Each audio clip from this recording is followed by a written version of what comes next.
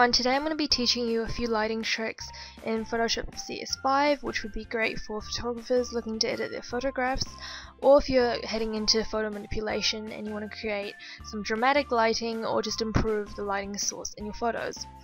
So I'm going to be trying to go through um, as fast as I can um, as well as step by step on how to do these one, uh, one by one and the first one I'm going to be doing is one lighting trick that I learnt from the photographer Emily Soto and if you haven't already checked out my video inspired by her where I do um, a soft dreamy effect um, in her style it is down in the description bar below. I will put that there.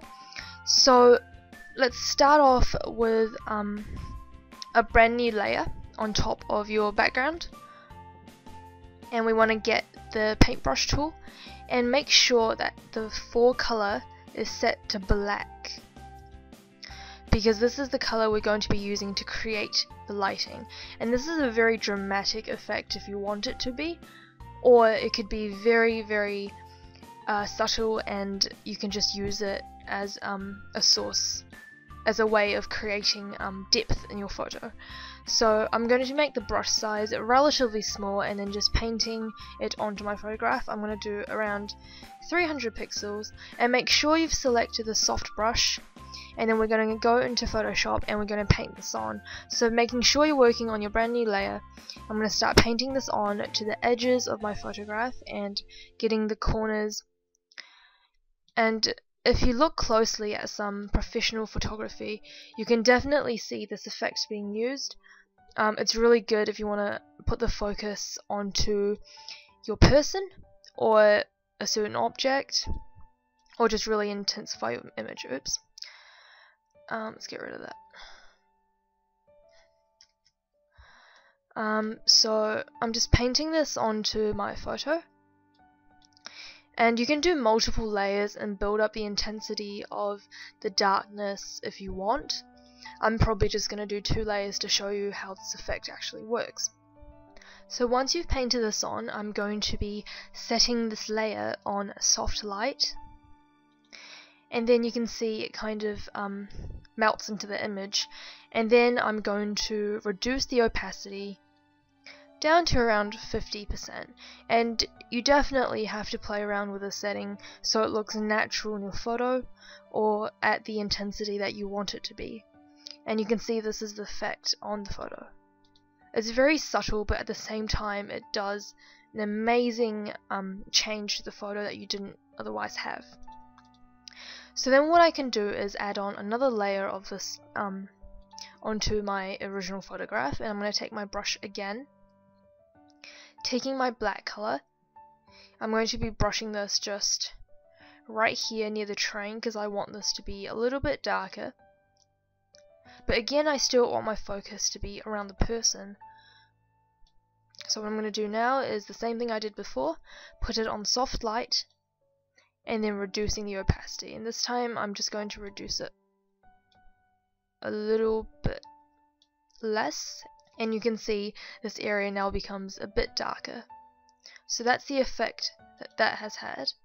And without the lighting it looks like this, and now that we've changed it, it looks like this. And I think this is such an amazing way to create depth in your photo or create focus. Um, this is an additional step that you don't need to take, but I'm going to take a new layer and then I'm going to brush on some white colors and I'm going to change my color to white. Same size. I'm going to be lightening just specific parts of the photo.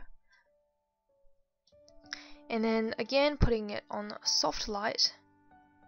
I'm going to reduce opacity. And you can see that's what that looks like. It's a very subtle glow around the areas that I've painted.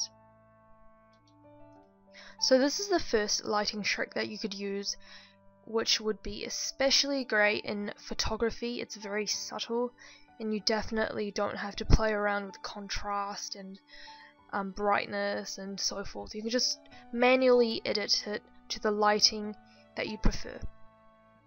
So let's move on to the next one. So now that I have my original photograph again, The second one I'm going to be using is a filter. So I'm going to first take select my background layer and right click and duplicate layer, click OK. And this is going to be my lighting layer. So to make note of that, I'm going to rename this layer to lighting layer. Now going into filter, make sure you're on your lighting layer. I'm going to go into render and then I'm going to go into lighting effects right at the bottom. So once we reach this filter, we're going to adjust the X-shape tool in the middle of our image and you can move this around and change the size of your lighting source through these little dots on the outside. And then if you um, want to change the intensity of your lighting source, you can just change the little scroller in here. So I'm leaving the intensity at about 45% and then I'm going to make my lighting source quite big until it looks like this. And I'm moving it to the middle of the image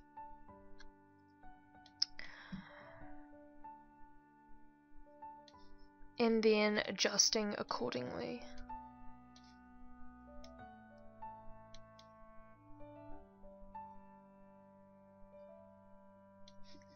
Now I haven't changed any of the properties and I'm just going to click OK.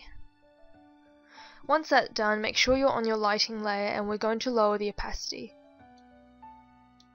I've lowered mine to around 55% which I think is a good setting and you can see this is the effect we have on our image.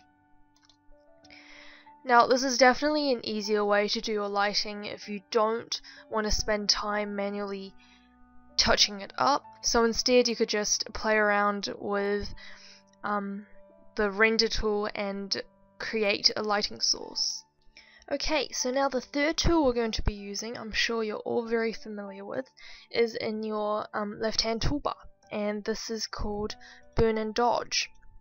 And pretty much the Dodge tool will lighten areas of your image, while the Burn tool will, as it suggests, burn your image.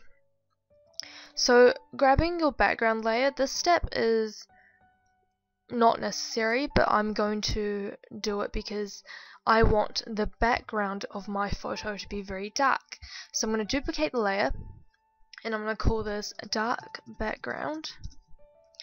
And then I'm going to go into image, adjustments and curves and I think this is such an amazing contrast slash brightness tool because um, it makes things very easy if you don't want to create your own lighting. So you can pull this little line up if you want it to be brighter or you can pull this little line down if you want your image to be darker. And I'm going to pull my line down.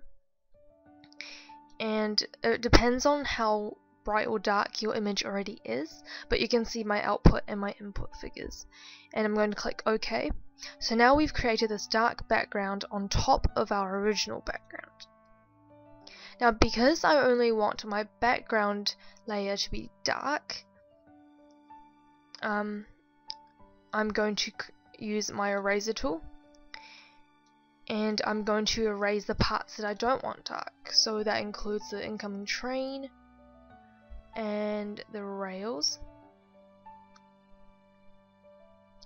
And of course the figure in the photo.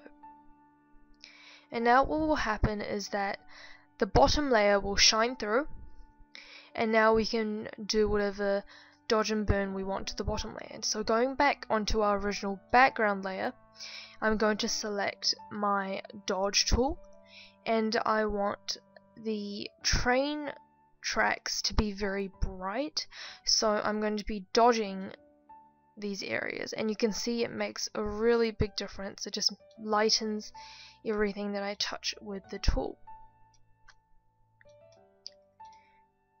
And I'm going to lighten her as well and then with the areas that I want to keep a little bit darker I'm going to right click and select the burn tool and then I'm going to darken these parts of the image.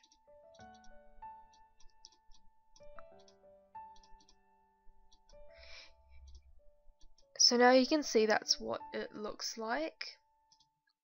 Um, and dodge and burn is a very very easy way to lighten or darken your photo. However, I do find that if you overdo it, it will destroy the quality of your image. So be very, very careful. Um, like I said, if you don't want to manually do all of this, you can just go into um, a curves adjustment or a brightness and contrast adjustment. Um, and then kind of slowly ease into getting used to um, using your paintbrush tool um, or different filters to create your lighting. But I do think this is a really great way to go about um, creating your lighting as well. So pretty much that is my three ways of creating lighting in Photoshop CS6. I hope this was really really helpful um, and I'm really hoping you take something away from this because if you don't like one lighting trick that I showed you, I'm sure another will appeal. Well, at least I hope it will. Um, so do remember to like the video and subscribe if you haven't already, and I will see you next time with a new tutorial. Bye!